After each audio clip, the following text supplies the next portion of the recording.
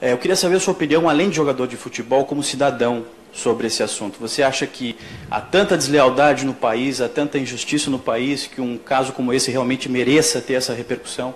O que você pode dizer com relação Eu acho que é melhor a mãe deles chorando que a minha em casa. É, a minha percepção é essa. Prefiro a mãe de, dos meus adversários chorar do que a minha em casa. Não tenho mais o que falar sobre isso. Encerramos então com o Maicon. Obrigado a todos. Uma boa tarde. Numa situação dessa, eu particularmente eu iria sair em defesa, né, defender a atitude do, no caso do Rodrigo Caio, eu ia elogiar o meu companheiro e, e hoje também ali dentro a gente conversando, eu, eu, eu procurei frisar novamente que essa atitude nos responsabiliza muito, né, cara, de, de uma próxima situação que acontecer. É, ontem foi a nosso favor, né? No caso foi nós o beneficiado, né? E, então se acontecer com a gente, que a gente tem que fazer igual.